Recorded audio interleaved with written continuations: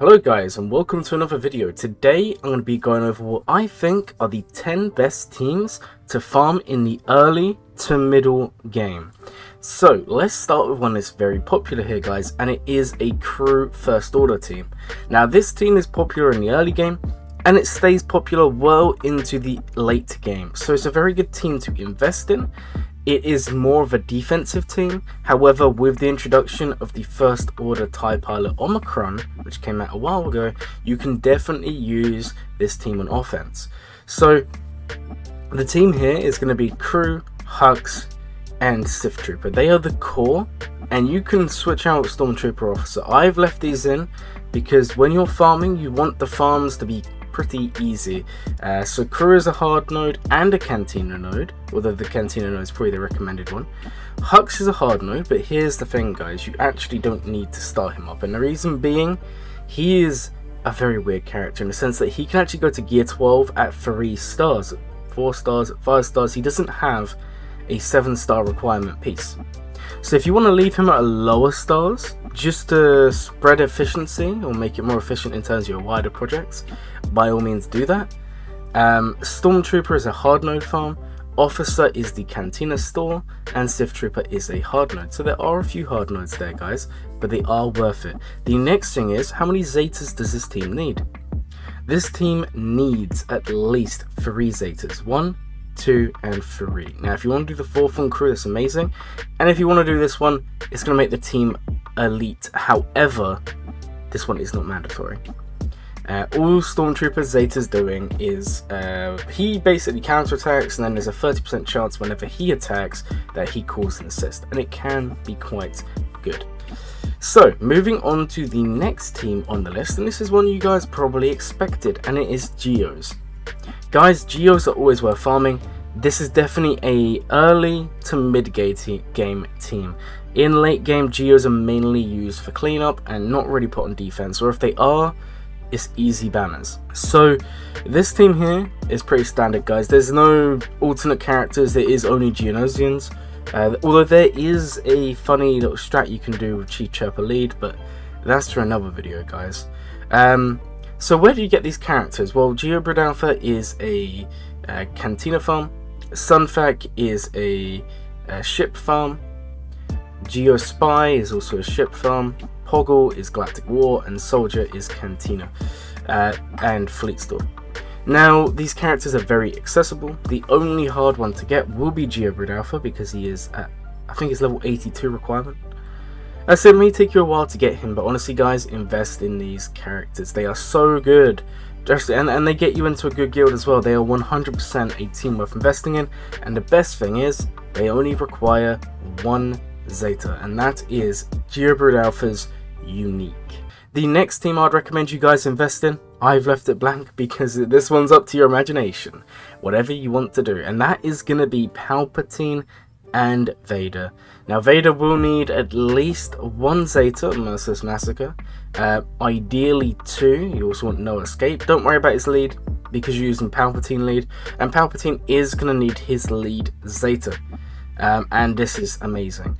Uh, this team together just Palpatine Vader, you then chuck in whoever you want. Mara Jade, Krennic, uh, Tarkin, anyone you want goes in those last slots, and you will be beating lots of teams. Very, very powerful team, very low investment apart from the Zetas. Uh, 100% worth you spending time to get. Moving on, we have one of the newer teams. Now, we've actually included a couple of new characters in here. Uh, we've got Dash team. Now I split this up into two teams here guys because it's just you substitute one character. Uh, Dash, I understand he's not accelerated and I understand he's a newer character, but the team around him is very old. In other words, they're easy to gear up, and we've spoken about this before on the channel. Now, this is a great team to invest in, especially beginning of the game, like early game and middle game, and it's another team that holds its value in the late game. In fact, Dash is very much becoming a meta team, a staple team. Um, it's very rare you don't see a good Dash on defense in the uh, high ends of Kyber, so Kyber 2 and Kyber 1, and, and it's very rare that you don't come up against an opponent who at least has a Dash team. So it is becoming a bit of a staple, and I only expect that to increase with time, especially once he becomes accelerated. So why is this team good? Well, firstly, you only need one Zeta for it to work, and that is Vandor Chewie. The other ones do not need a Zeta. However, Dash's Zeta is also very nice. So you, you need at least one to two. Qi'ra, Younghan, and L3s are not mandatory here. Again, they are nice Zetas, but they are not mandatory. Um, and Young Lando does not need his. So you only need at least one to two Zetas, and then you need one Omicron. And out of these teams here, there's only a couple that utilize Omicrons. Uh, however, Dash is, is 100% worth it. You can do some crazy stuff with this.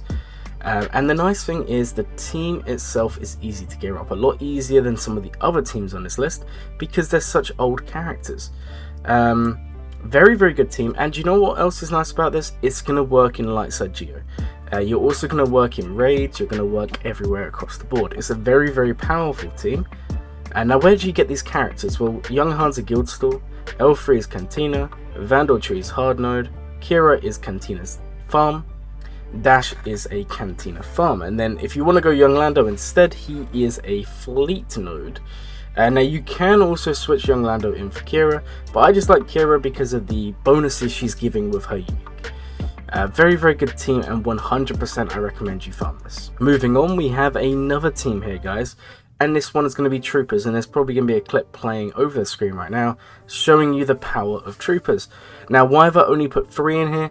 because this is the only three you're going to need. Now, if you want to put in the full five, you should at least bring four. But if you want to put in a full team, by all means, just chuck any Imperial Troopers in there. Range Troopers typically the best. However, if you want to put Starck or if you want to put Wat Tambor or any of these other characters in there, feel free to do so. Um, very, very easy to get team. Now, mine obviously high relics.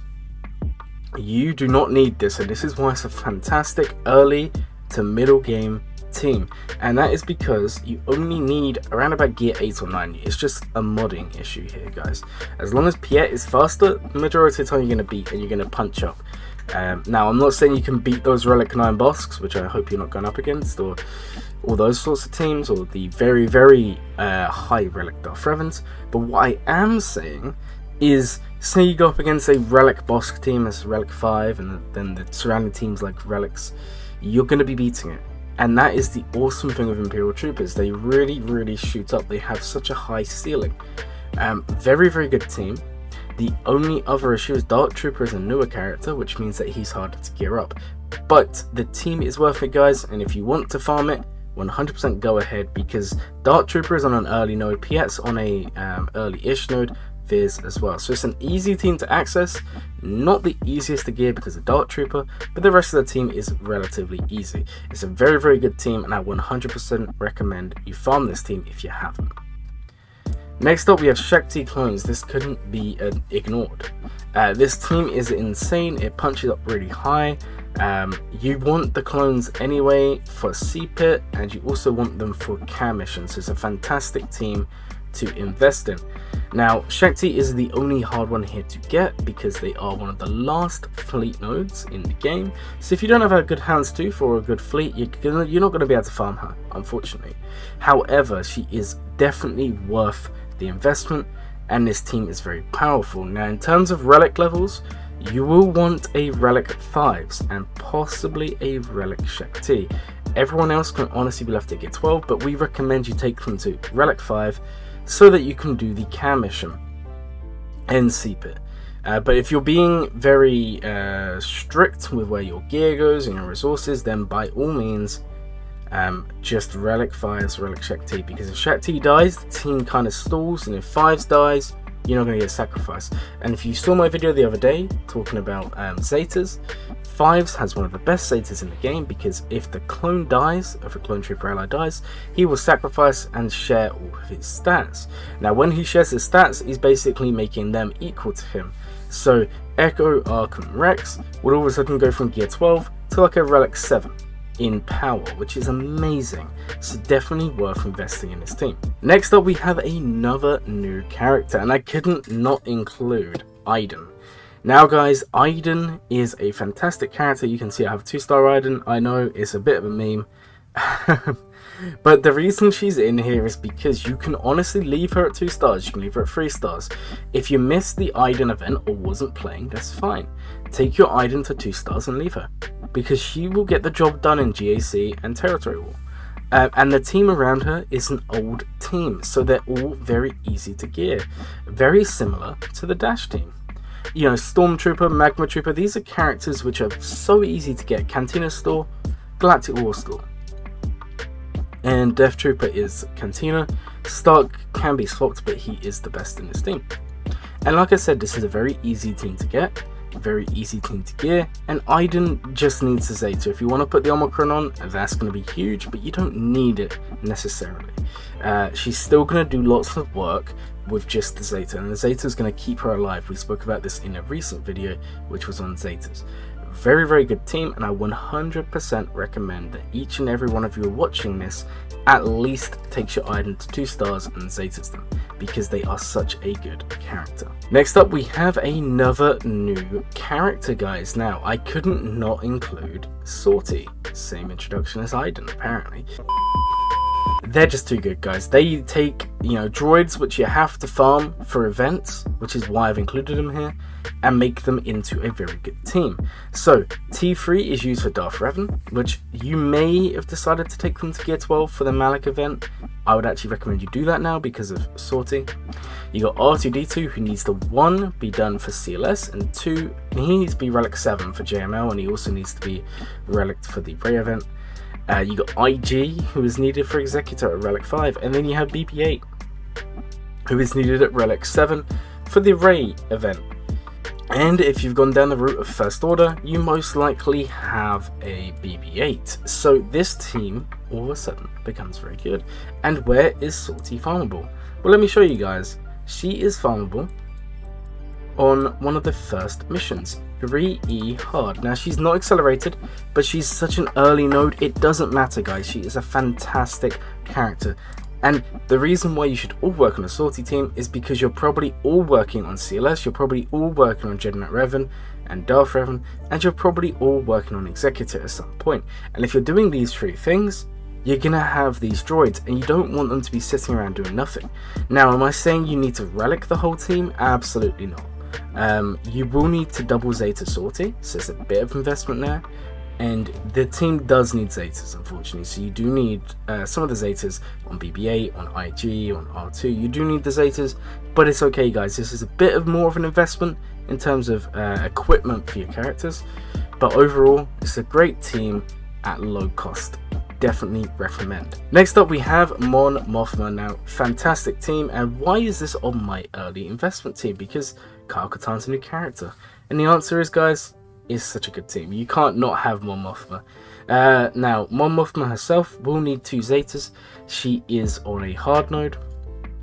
Kyle Katarn is a Cantina farm. You don't necessarily need a Zeta. Uh, Cara is a hard node. You will need her Zeta. Uh, Pao Zeta is very good. We've already established that. And Hoth Rebel Scout does not have a Zeta. But Pao, Hoth Rebel Scout, easy farms. Cantina farm and then um, these guys at Cantina as well. And Mon Mothma is a hard node, very very good team, and it's gonna last you in light side geo. The other thing is Mon Mothma teams are used as geo cleanups, which is fantastic. Very very good team, and 100% I recommend that all of you farm a Mothma team at some point. And the final team we have left blank is a bit similar to the Vader team in the sense that we've got Commander Luke and Han Solo you can put anyone in these last slots. Now, obviously, the two Chewies and C3PO would be best. However, I appreciate that not all of you have Chewie or C3PO. So if you don't, any Rebels will do. Very, very good team. It can punch up a lot. We've seen it a lot in my gameplay, in other people's gameplay most likely. Very, very good team. Thank you all for watching. If you made it through to the end of the video, please consider liking and subscribing. It helps out the channel a bunch. Let me know in the comments, did you agree with my selection of teams? My name is Glurmit, and I hope you will have a glurming day.